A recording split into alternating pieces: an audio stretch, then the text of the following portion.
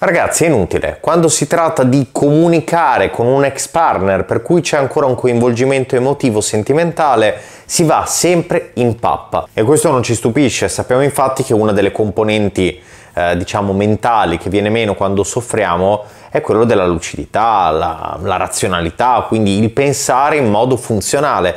E questo si riverbera particolarmente proprio sulla comunicazione, in particolar modo per quanto riguarda le domande, perché quando noi veniamo lasciati siamo pieni di punti interrogativo, guarda qua ce ne sono 10 qui, 10 qua, 10. quindi oggi passiamo al setaccio quelle che sono le zone nere, ossia dove non devi mai addentrarti, quali sono le domande che non devi mai fare, perché molto probabilmente ti porteranno in errore. Quindi stai fino in fondo perché così facendo affilerai ancora meglio i tuoi artigli, ma non prima di averti ricordato chi sono, cioè io sono Marco, sono un consulente relazionale laureato in psicologia e io e il mio team ci occupiamo di aiutare persone motivate di successo che però stanno vivendo una situazione di intoppo a livello relazionale e vorrebbero una mano a riprendere il proprio benessere per come era nel suo splendore ed aumentare al massimo la probabilità di riconquistare la persona che ancora desiderano. Se questo ovviamente vale la pena. Quindi se hai questo genere di motivazione vai in descrizione perché troverai sicuramente pane per i tuoi denti. Tutto quello che cerchi è lì, è inutile che chiedi nei commenti, vai in descrizione. Ovviamente adesso io ti spiegherò non solo quali sono le domande da non fare, perché sarebbe molto facile così per me dire non fare questo, non fare quello. Ti spiegherò anche le ragioni per cui è sbagliato fare determinate cose. Partiamo dalla base. Noi vogliamo ricontattare una ex e le chiediamo come stai? Ciao, come stai? Ora, la cosa è questa. Questo messaggio, se noi lo mandiamo che siamo in una relazione, o con un amico, o con qualsiasi altra persona, non c'è problema.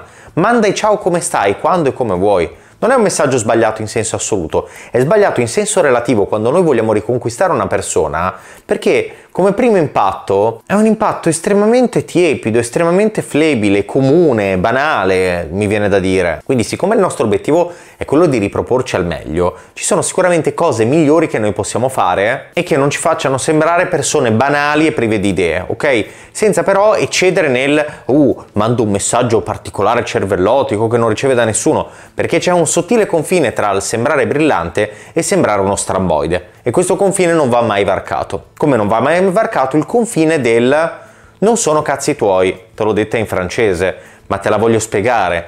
Se noi chiediamo alla ex, allora ma ti vedi con qualcuno, ti senti con qualcuno, quello non è un terreno di tua indagine. Io lo so che tu dici, ah ma se io so che si frequenta con un altro per me è finita. Vai tranquillo che rischia di essere finita anche solo per il fatto che tu ti dimostri controllante nei suoi confronti. È questo che vuoi sembrare? Una persona controllante? Non mi sembra proprio il caso. Più che altro, ti ha lasciato, ok? Se siete invece in una situazione di pausa dove state ancora assieme, questa cosa può avere anche un senso. Ma in ogni caso, eh, chiedere alla ex o all'ex se si frequenta con qualcuno, cioè, la, che risposta speri di ottenere? Cioè, sinceramente, è probabile che ti dica non sono fatti tuoi oppure che ti dica no per non farti soffrire sapendo che con questa risposta ti spezzerà in due. Quindi in ogni caso sembri veramente supplichevole e alla ricerca di rassicurazione. Peraltro sembri anche stupido perché sappiamo benissimo che nella stragrande maggioranza dei casi non è questa la ragione che ha portato alla rottura.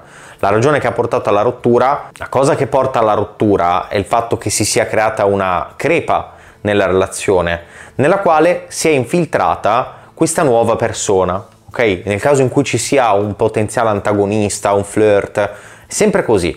Una crepa, un qualcuno che occupa questa crepa, ma non necessariamente una persona che abbatte il muro o ne tira su uno suo. Capisci che ti voglio molto dire? Spesso, molto spesso parliamo di relazioni d'appoggio, di frequentazioni così, tanto per colmare un vuoto, per esempio l'assenza di desiderio o una persona che ascoltava o ascolta il tuo ex o la tua ex in modo migliore, ok? Quindi non chiediamo se si frequenta con qualcuno.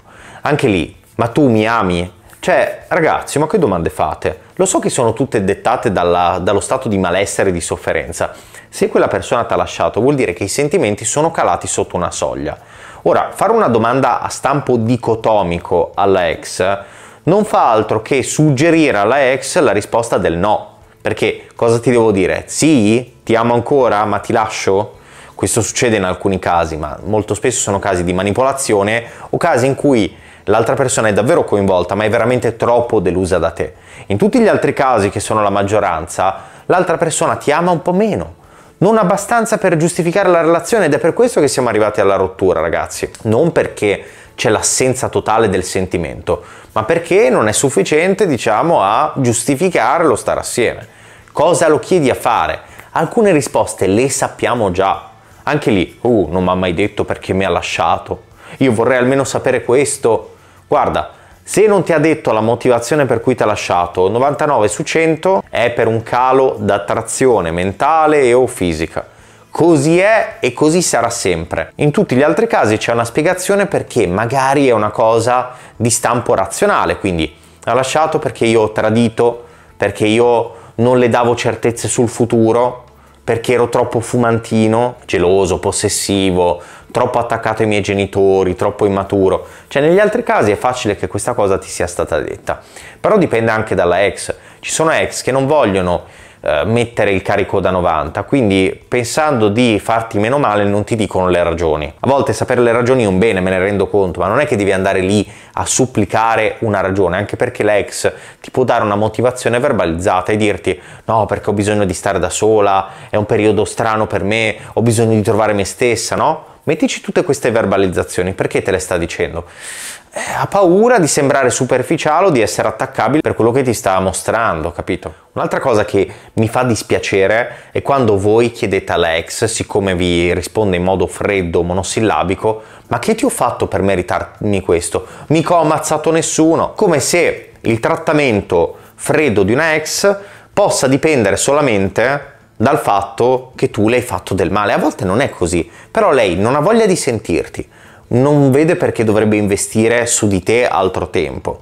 Ti ha appena lasciato, quindi vuole dare coerenza alla sua decisione e tu stai rompendo, stai intromettendoti nella sua quotidianità.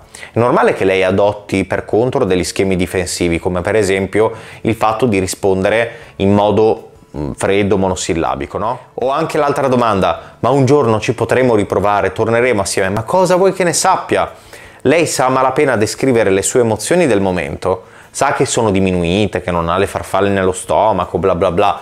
Cosa ne può sapere del futuro? A maggior ragione che, lo sai, noi abbiamo il potere che fornendo nuovi stimoli e facendoci percepire in modo diverso, possiamo mutare le sue sensazioni, i suoi sentimenti perché sentimenti e emozioni dipendono da stimoli, ok? Dalla percezione. Questo è proprio il processo attraverso cui vengono codificate le, le informazioni. Arrivano degli input dalla ex, rielabora quegli input, pensa, ah, non è così male però adesso, è molto meglio di prima. Bam, risultato, maggiore attrazione, senso di coinvolgimento e di voler investire.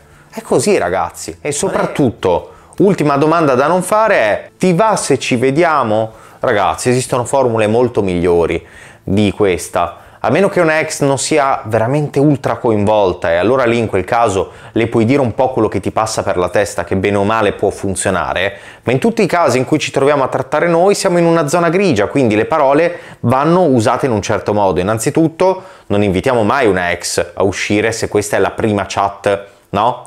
Perché? Perché sennò sembri subito che lei ti dà un dito e tu ti vuoi prendere il braccio ok? Quindi l'invito ad un appuntamento va fatto in un secondo momento, con calma. E in secondo luogo, invece di dire ci vediamo, come se cercassi rasserenazione, sii più sicuro di te e dille dai, non sarebbe male prenderci una mezz'oretta di relax. Quando potresti? Venerdì o sabato? Sii più deciso, poi al massimo è lei a dire ah non posso quei giorni e le chiederemo di controproporre. Non è difficile.